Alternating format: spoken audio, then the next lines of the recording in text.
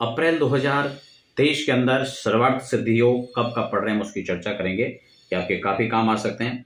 देखिए, अप्रैल में यहाँ पर सर्वार्थ सिद्धि योग पाँच तारीख, पाँच अप्रैल यानी आठ अप्रैल, दस अप्रैल, चौदह अप्रैल, पंद्रह अप्रैल अट्ठारह अप्रैल, बीस अप्रैल, बाईस अप्रैल, चौबीस, सत्ताईस अप्रैल को जो है सर्वार्थ सिद्धि योग पड़ रहा है।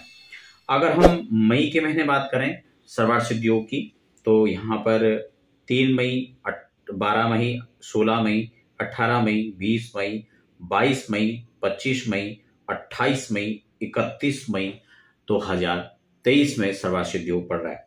जून के महीने सर्वार्थ सिद्धि योग की बात करें हैं तो यहाँ पर चार जून ग्यारह जून, तेरह जून, सत्रह जून, छब्बीस, पच्चीस जून और तीस जून 2023 को सर्वार्थ सिद्धि योग बन रहा है।